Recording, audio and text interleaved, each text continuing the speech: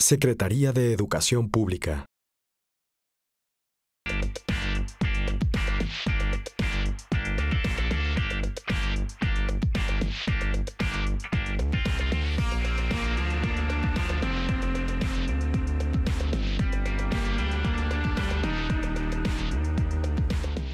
Ella es una reconocida bailarina, coreógrafa y maestra.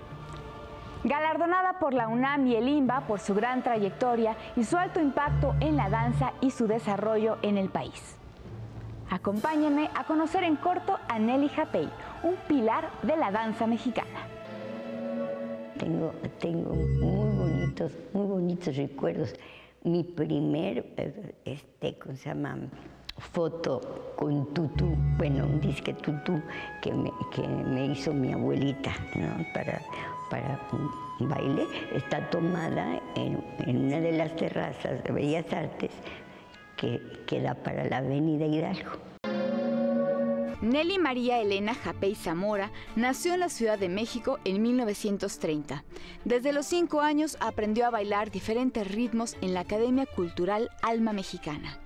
Tres años después ingresó a la Escuela Nacional Nelly Campobello con Estrella Morales, maestra que fue alumna de Isadora Duncan, considerada por muchos como creadora de la danza moderna.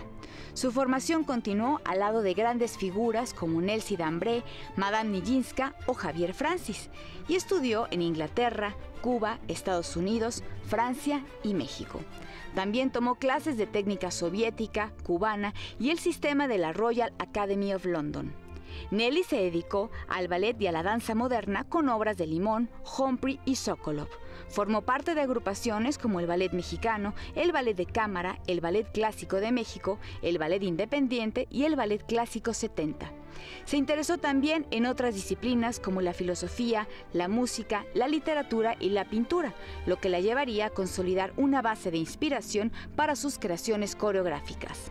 Su legado se compone por más de 50 obras, creaciones para compañías y ballets tanto nacionales como extranjeras, entre las que destacan Trío, Encuentro, Sinfonía Simple, Marejada, Carmina Burana y la ganadora en 2007 del Premio Luna del Auditorio Esquina Bajan.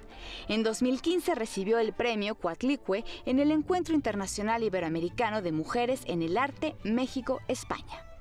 Un año más tarde fue galardonada con la medalla Gloria Contreras por parte de la Universidad Nacional Autónoma de México. Este año, el Instituto Nacional de Bellas Artes, por medio de la Compañía Nacional de Danza, le rindió un homenaje a su trayectoria con la puesta en escena de dos de sus coreografías. Lo primero que aprendió Nelly fue bailar el jarabe tapatío y rumba en una pequeña escuela de danza local. Esto le sembró su amor por la danza, que fue el impulso para su formación profesional. La que me lidió de, pequeña era mi abuelita, que era una persona muy linda, que me quería mucho, pero también en esa época muy estricta. Entonces, por ejemplo, yo iba al, al kinder y nos ponían bailecitos, lo que fuera, y le dijeron una vez a mi abuelita que bueno, pues que parecía que a mí este, como que lo hacía yo muy bien y que me gustaba. Me preguntaron y yo dije que, pues que sí, que, que quería yo estudiar. Me, le dijeron que había una academia cerca de donde vivíamos, nosotros vivíamos cerca de donde está el Panteón de San Fernando. Yo iba al kinder justo enfrente. Y entonces, este, pues me, preguntaron, dije que sí, y mi abuelita me llevó. Pero al llegar a la puerta me atranqué. Y entonces, bueno, tú dijiste, llegó la profesora, ¿no? Y yo atrancada.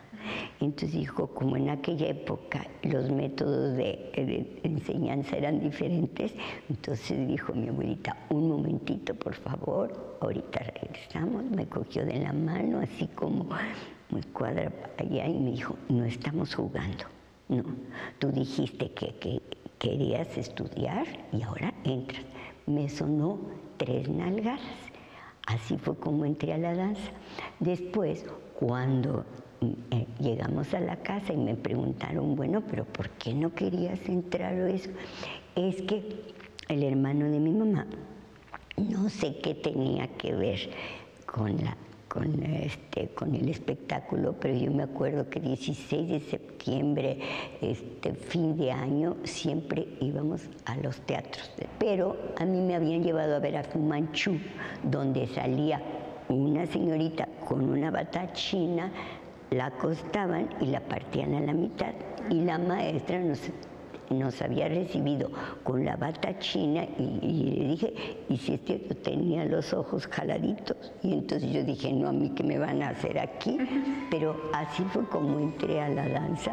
Ahí cuando tenía yo, o iba a cumplir los seis años, nos fuimos a, a, vivir a Waukegan, 50 millas al norte de Chicago.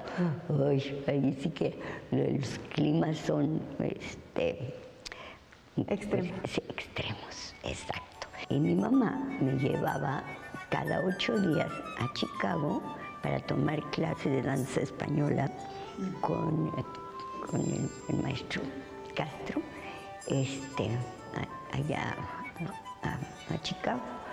Y cuando regresamos a México, ya, entonces, ya cuando tenía yo ocho años, entré a la Escuela Nacional de Danza, la de Nelly Campobello, que estaba entonces en, el tercer piso de, Bellas Artes, allí, allí iba.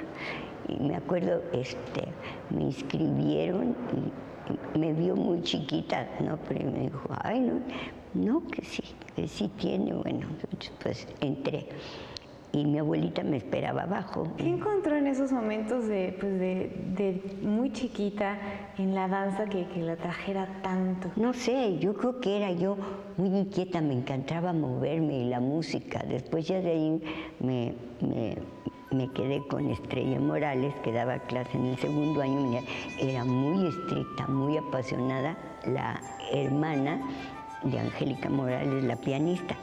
A ella le había tocado irse Europa y había estudiado clásico, pero también danza moderna, bueno, moderna de aquella época, con las Isadorables, las discípulas de Isadora Duncan. Entonces ¿Cómo, ¿Así les llamaban? ¿Isadorables? Las, sí, se llamaban ellas las Isadorables, ¿no? Con, unas de ellas. Pero era interesante porque ya desde allí... Um, como que mi visión de la danza no era exclusivamente danza eh, este, clásica, porque yo veía que las grandes corrían y se tiraban al suelo y hacían, Y por ejemplo, cuando me hice una coreografía, creo que la bailé en el Alameda, salía yo de hija de la bruja, eh, era de Blancanieves, creo, y mi madrina inventó que existe el personaje ese. Yo me acuerdo que me sentía yo soñada soñada porque llevaba un traje de gasa, ¿no? Y bajaba yo por una rampa corriendo, me tiraba yo en el suelo que se caería y yo fascinada, o sea que ella desde entonces ya no era yo clásica. Nelly siempre disfrutó de la lectura y fue gracias a un artículo que conoció y quiso estudiar en Estados Unidos con Madame Nijinská y que yo quería estudiar con ella y duridale y duridale, total. Y me mandaron, me, fui. Por cierto que mis padrinos no estaba porque yo tenía 16 años y 16 eh, años de esa época, no son los 16, creo que no decía yo ni baboso siquiera, ¿no? Pero este, pero tenía, ya me había picado la pasión, ¿no? Y entonces, este, y me acuerdo que me hablaron ellos y me dijeron, no, si no te gusta, no, nos escribes y al día siguiente tienes el pasaje y te regresas. Y yo se lo conté a mi mamá. Y mi mamá me dijo, y me adoraba, ¿eh? Pero dijo, mira, no estamos jugando. Te vas porque quieres, porque desde cuándo has estado duro y dale con que te tienes que estudiar. Así es que nada de que extraño mucho a mi mamacita chula te vas y te aguantas. Y cómo ante toda mi vida le he agradecido a mi mamá haberme educado así. ¿Por qué? Porque uno se hace responsable desde entonces y la responsabilidad no se aprende por correspondencia, se aprende ejerciéndola. ¿ah? Entonces me, me fui y no, yo era rebailadora, las posadas, bueno, no, no, yo llegaba con los zapatos en la mano, además al día siguiente no me dolían tanto los pies, no, sino era el cuello, ¿por qué? Porque como todos me quedaban muy altos y yo en la platicada, luego el dolor de aquí, pero yo no me perdía, yo era posa tras pues dejé todo, dejé todo eso, ahora sí que por la pasión, ¿no? Y llegué allá y luego me acuerdo, en donde yo estaba, era, iba a la escuela pública. Hacer la, o sea, Sí, porque estaba, sí, estaba ahí en prepa, porque en el americano, y llevaba yo muy buen promedio. Alex Neven, una compañera y yo llevábamos los promedios más altos. Y cuando uno terminaba la, aquí, aquí en México, en, el americano, si los promedios más altos, uno tenía acceso a universidad. vaya, este, como una beca. Pero pues me, me, fui. Entonces entré a la escuela pública, pero resulta que las clases de Madame Nijinsky eran en North Hollywood y cuando salíamos a las 3 de la tarde, a mí no me daba tiempo de ir a comer, coger mis cosas, bueno, que me llevaran, porque todavía quedaba retirado. Entonces yo me di cuenta después que había un, que, algo que se llamaba programa corto, y de chicos que salían a la una. Entonces fui y le pedí a mi tío Domingo que por favor, si no iban y abogaban por eso. Y me dijo, no, qué barbaridad, esos son para los niños que tienen necesidad de trabajar. No, no, no, de ninguna manera. Entonces, yo me puse a pensar que dejé mi país, mi familia, los bailes, todo eso por venirme y no pude estudiar con Madame me armé de valor y fui. Y me acuerdo que era el dean de, varones, era un irlandés de ojo azul, nunca se me va a olvidar. Y fui y, me, le dije, ¿no? Ya que me dejó hablar, me dijo, sí, está muy bien, yo te entiendo, pero no es conmigo, tienes que hablar con la DIN de mujeres. Y, tenía fama de tener un genio, bueno, tremendo. Mm. Pues me acuerdo que cuando si me dieron la cita, me llevé el agua de San Ignacio y hasta le rocié yo a ver si. Total, este, sí hablé y bueno, eso. Y dije, si es necesario, lloro, sí lloré, pero de veras ya me había, este, sí me, me emocioné, en verdad. Y luego me dijo, enséñame tus calificaciones. Bueno, también me ayudó que hablaba yo inglés de corrido y sin tropiezo, ¿no? Y entonces me le enseñé y tenía yo eh, puras as, o sea, 100.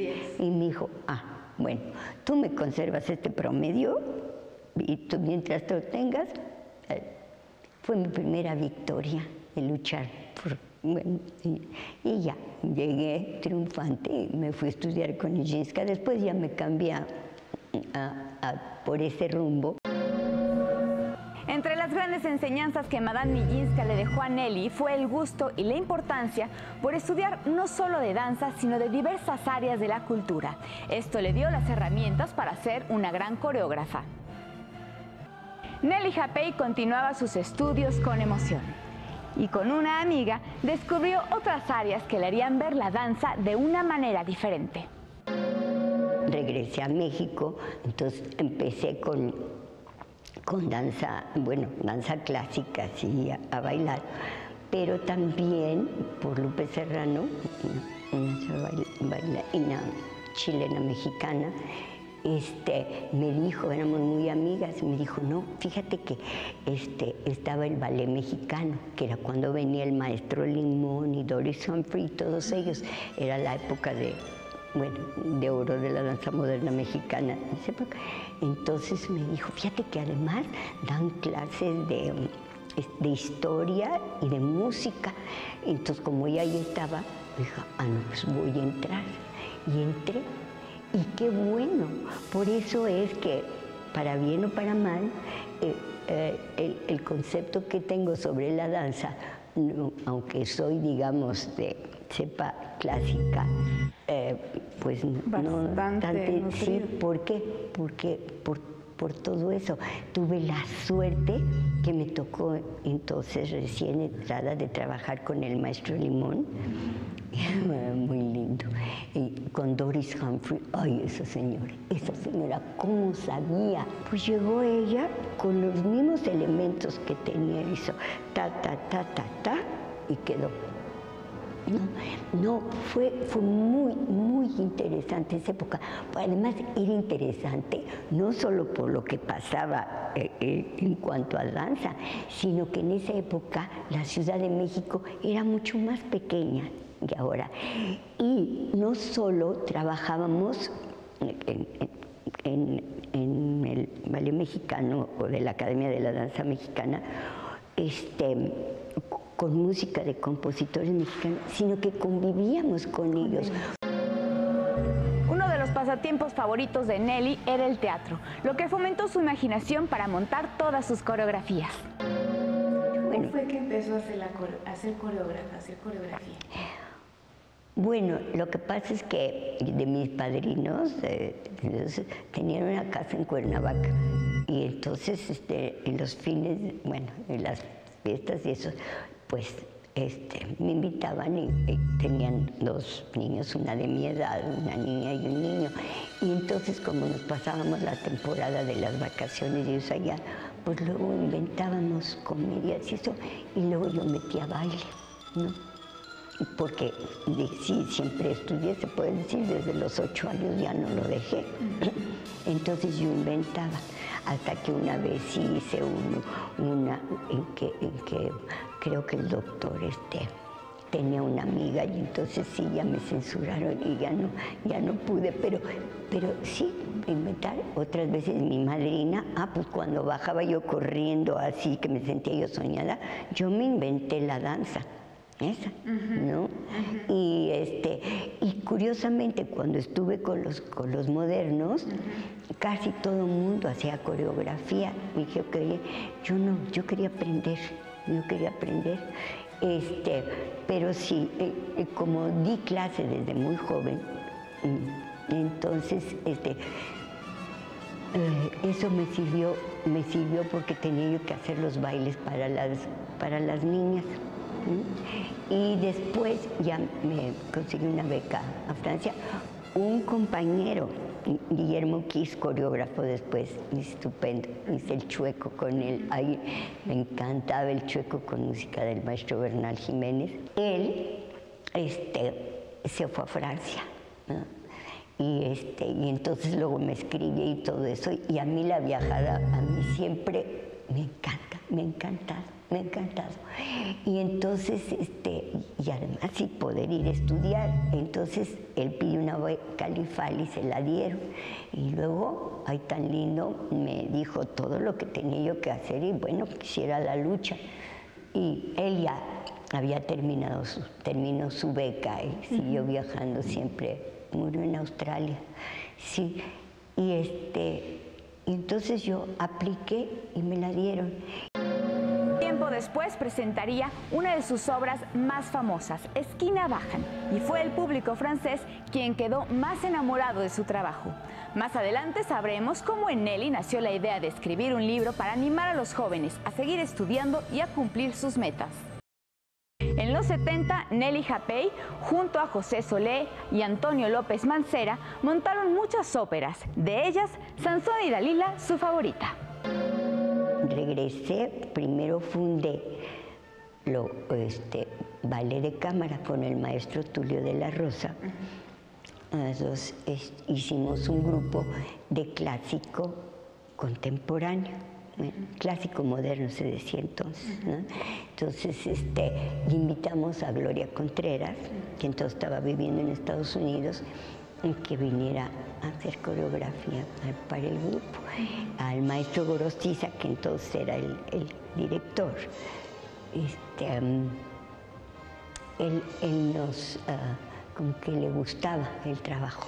Y después, que siempre Bellas Artes había, ¿cómo se llama? No, dirigido, sino el subsidio apoyado, era para la danza moderna, entonces quiso formar una compañía de danza clásica también. Y entonces escogió a Ballet Concierto, dirigido por el maestro Felipe Segura. Ellos tenían mucho más tiempo, de como 10 años de trabajar. Y nosotros, nosotros teníamos menos pero digamos que eran las dos vertientes, ellos más a lo tradicional y nosotros. Y, él, y se hizo un consejo, o sea, sí Felipe estaba de, como de director de la compañía, pero en realidad este, era manejada por un consejo. Estaba Toño López Mancera, yo. Entonces, este, Ana Mérida era la directora del departamento de, de, danza. y entonces ella estaba también y se suponía que un que el maestro Hafter, pero nunca fue y después entró el maestro Mata, ahí fue donde lo, este, lo conocí. Director de orquesta. Sí, el director, estupendo. Y con él me tocó estrenar la Carmina. Cuando se formó la compañía, se llamó Ballet Clásico de México. Okay.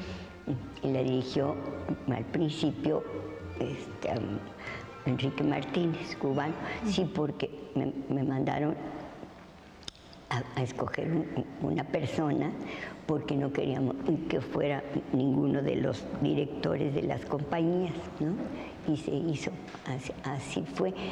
Hice, eh, ahí, hice el año anterior, sí, hice mi primera eh, coreografía trío cosas que Nelly Japey amó de estudiar en diferentes lugares fue conocer a personas que le enseñaron su forma de ver el mundo y con quien pudo compartir sus experiencias. Ahora que, ¿por qué quiero escribir mi, libro?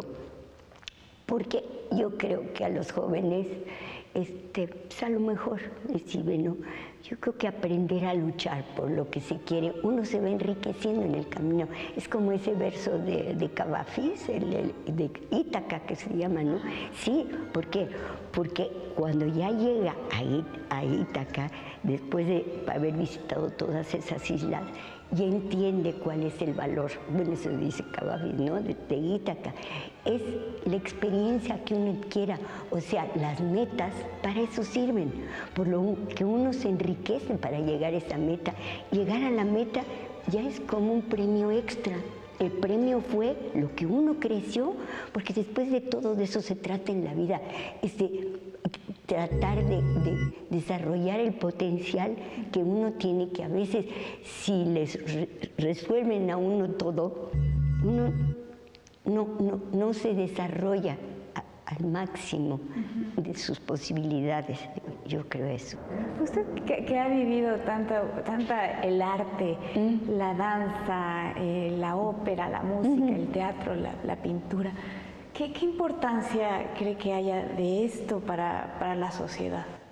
No, yo creo que es importantísima, porque una sociedad que, que se enfoca, eh, bueno, sí, obviamente en, el, en el trabajo y en eso, pero, pero tiene que tener esas otros, esos otros mundos, porque de alguna manera sí le enriquecen en la vida. Es como, es como el leer, ¿no?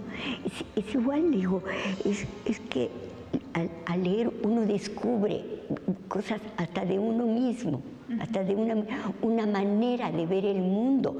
A mí por eso me encanta viajar. ¿Por qué? Porque cuando uno viaja, uno descubre otros seres que tienen las mismas inquietudes, los mismos problemas o, diferentes, pero se puede uno comunicar.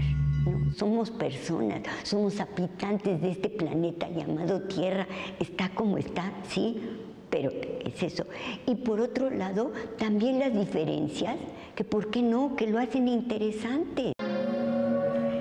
Es Nelly Japey, bailarina, coreógrafa y maestra, una mexicana destacada en la danza y que continúa contagiando a los jóvenes bailarines las ganas para ser mejores personas y los mejores profesionistas de este arte.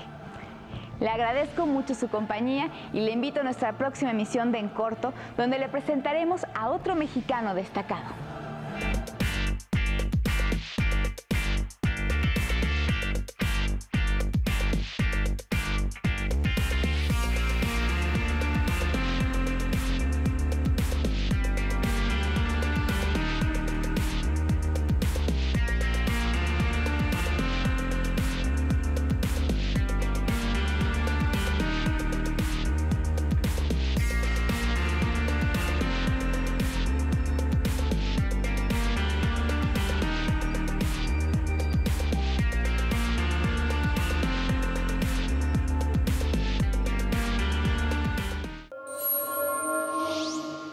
Secretaría de Educación Pública.